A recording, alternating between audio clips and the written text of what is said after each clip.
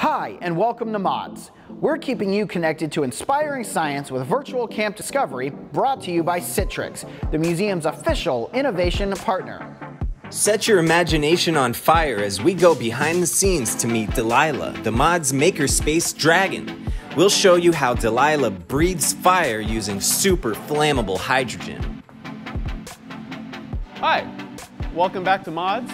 So we're here in our makerspace where we're always tinkering around coming up with new things to do. And sometimes when we come up with something really cool, we feel compelled to show it off really any chance we get. So Alina and the team have been working hard on this uh, for the past couple weeks or so. And uh, well, what are we looking at here? Well, Brady, number one, I like to say welcome to my beautiful dragon's den. This Okay. is Delilah. She's the newest addition to our mods family. Okay, and uh, tell us a little bit about Delilah. What are we looking at here? Now, Delilah is a wingless dragon.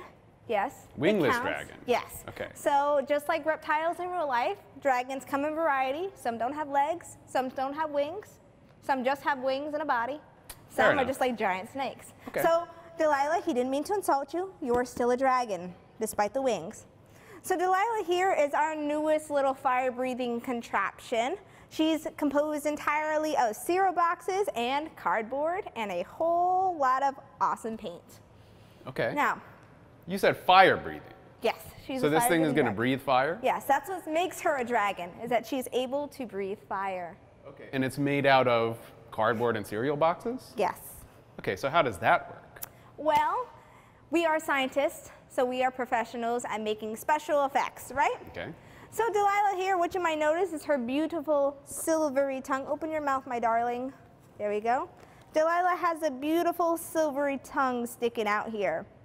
Now, the secrets of fire breathing in fantasy is this idea that dragons have this kind of flammable gas sac inside of their bodies that they're able to pressure forward, and when they spark their teeth in some way, it's able to light it and start the fire.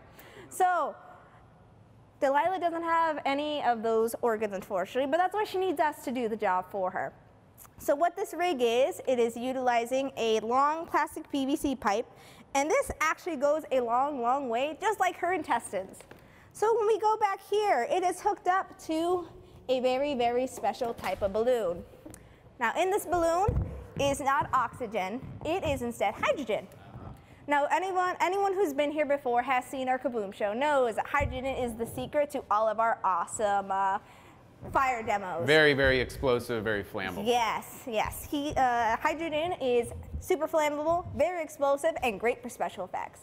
So the way we rig this thing up, the reason why it's not flowing out is there is in fact a special valve back here that basically holds our hydrogen back, and when we open it up, it will pressure all of that gas forward and we'll light our fire. Okay. Now you might notice she has a little candle right in front of her. Unfortunately, she can't click her teeth together yet. She's working on it, needs some dental work. But we can show you her great fire breathing ability. Do you care to see? Absolutely. All right, make sure you keep your glasses on. Remember, when you're working with any kind of fire breathing creature, you don't want to lose your eyebrows. One, two, three.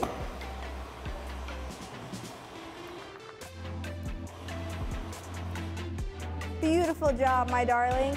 You are amazing. Wow. See, I told you she was a real dragon. Very much so. All right. So this is Delilah, the fire-breathing dragon. Alina, uh, one of our chief architects here, and I'm Brady. And the dragon keeper. Uh, thank you for joining us. Hopefully you get to come down here and see Delilah someday soon. Uh, but until then, we'll see you again. Bye. Thank you for joining us for this episode of Virtual Camp Discovery.